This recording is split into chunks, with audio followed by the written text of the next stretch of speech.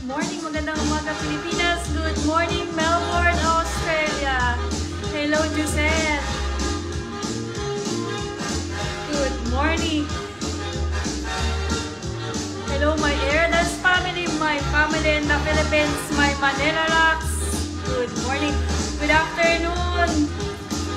My time. It's only 5 p.m. my time today. It's only Thursday.